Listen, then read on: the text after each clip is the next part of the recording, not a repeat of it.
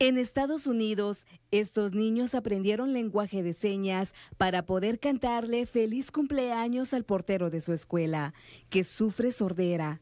Los pequeños con gran cariño, paciencia y dedicación lograron interpretar esta canción para demostrarle todo su afecto a John. Happy birthday to you.